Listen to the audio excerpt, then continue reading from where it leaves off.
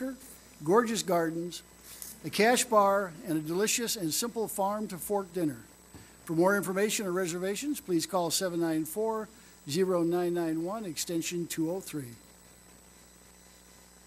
Kids can try their hand at all sorts of science and engineering projects with the Rock Island Public Library's monthly STEMazing after-school events. This month's session will be held on Wednesday, September 14th, and will feature wind power experiments. The hands-on projects for school-age children ages six and up can attend from 4 to 5 p.m. at the 3031 branch at 3059 30th Street, Rock Island.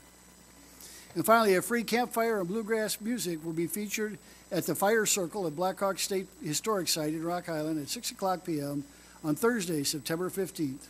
Music with Joe Nobling starts at 6:30. Free s'mores provided. Those attended are encouraged to bring their own lawn chairs and food to cook over the open fire. The fire pit is east of Singing Bird Center, north of Blackhawk Road at 15th Street. In case of rain, meet at Singing Bird Center for music and cooking in the indoor fireplace.